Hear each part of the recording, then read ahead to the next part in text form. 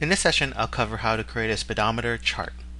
There's been debate on the web on whether or not speedometer charts are useful for Excel dashboards, and I'll leave it up to you to research that. But I thought, in keeping in line with the dashboard analogy, having a video on how to create a speedometer probably was appropriate. So let's go into how to create it. Now, looking at the speedometer here, this is basically composed of two charts a donut chart and a pie chart. And with these two charts, it's it's a combination chart when you put two charts together.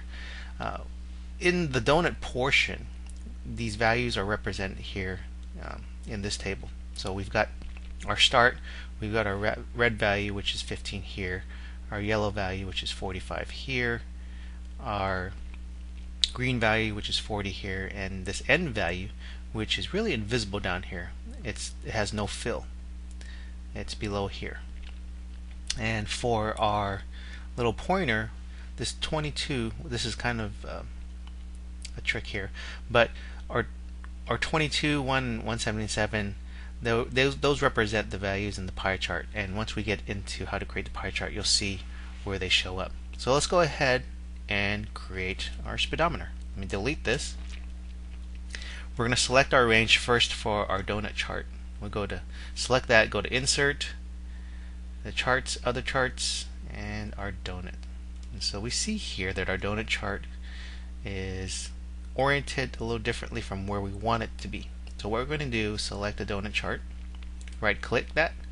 Under format data series, there's going to be a series option where we can rotate it. So we're going to rotate it to 270 degrees. Let's see, we are there. And we're also going to have this this fill, the end fill. We're going to click on that and see now the bubbles. Just select that end fill, and we're going to select no fill. So it basically is invisible. We also want to select different colors for these. So we had we had a red region here, which we don't need to change. We've got our yellow region, which we probably want to change to yellow. We go to fill, solid fill, and yellow. So you notice that you know even when I was in this format data point window, I didn't need to close it and select it. That's one nice thing about Excel 2007 here. I don't know if they do it in Excel 2003, but it's cool because you don't have to go in and out of the window to go ahead and change any of the attributes. Well, let's go back and change this final row, this uh, this final value, this green. We want to make that instead of a purple, we want to make that green. So we have green here.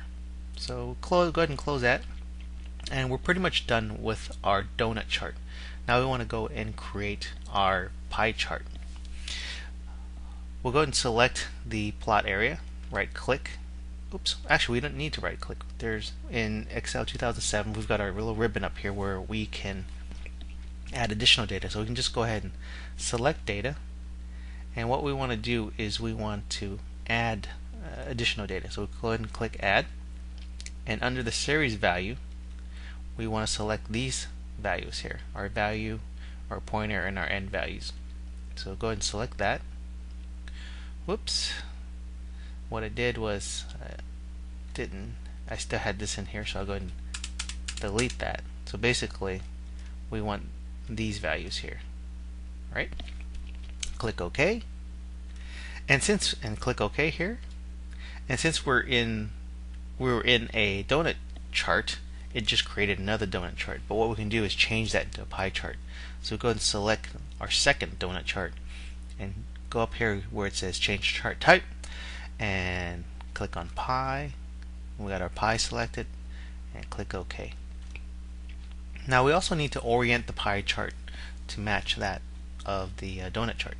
But you see here we have our first series here which is this 177. That little sliver here is our 1 value and our value that we want is 22. So we'll select our pie chart, right click that, format data series, and we're going to change the rotation to 270. Now let's fine tune it here, make that a 0. Now we also want to ch change this and give it uh, a no fill. So we go ahead and select on that. now we see our bubbles that kind of select this area here. We go under fill and click the no fill radio button. So that gives us no fill. And we also want to get rid of this fill too because we don't need that one. What we want is our basically our pointer area here. So basically this is our our value. And it's kind of misleading when you really think about it because uh, we want our value, but our pointer is one degree in addition to this value. So that's probably, in a way, sometimes why there's a debate on whether or not a speedometer is useful. That's probably a part of it. But let's go ahead and click on that. We want to get rid of that. We get rid of the fill there. And we want to change this fill of our little pointer. We click that. And we change it to black. Nice contrast. So click close, and we probably don't need our legend here. Click that and press delete.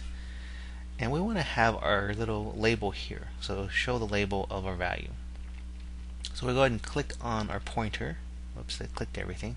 Clicked once, click again, and we've got no, we've got now we've got the value here. And it's a little fine tuning to click for that pointer. So now we've got our pointer. Now we right click, we want to add a data label. Now the data label shows what it should show, the pointer value, but we want to change that to indicate the value. So we're going to go ahead and double click or just click in this area and go up into the formula bar and press equal and then just the cell value because it could change. So we'll go ahead and press that cell value. It will indicate E2, press return, and it will give us 22. So if we ever wanted to change the value of our gauge here, we like we maybe we'll say 66 or 78. That would give us our value.